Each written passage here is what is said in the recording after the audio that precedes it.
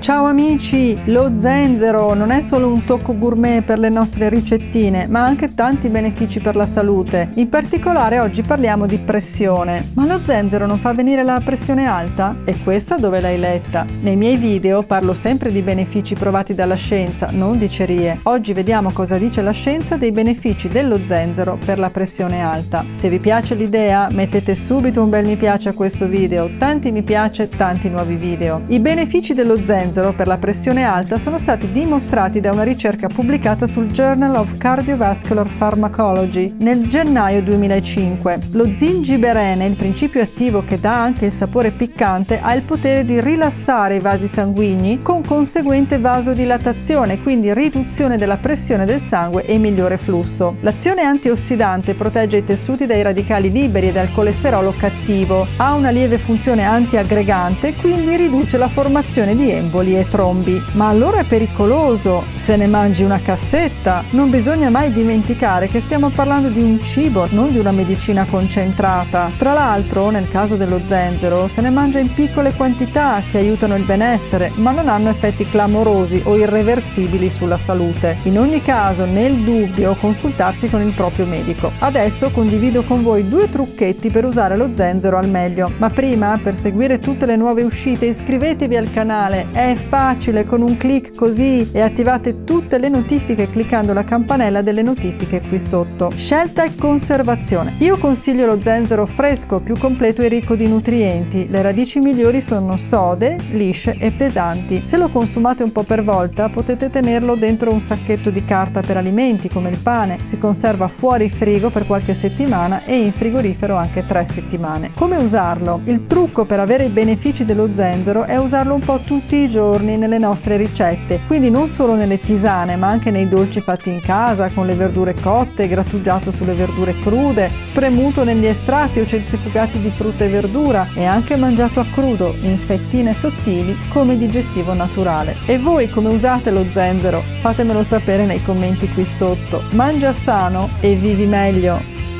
Diventa anche tu trendy e sano con Simona Vignali. Eventi live, vacanze wellness, scuola di naturopatia, consulenze di salute naturale, libri ed ebook per il tuo benessere. Info in descrizione. Ogni giorno sempre più trendy e sani con Simona Vignali naturalmente. Ciao!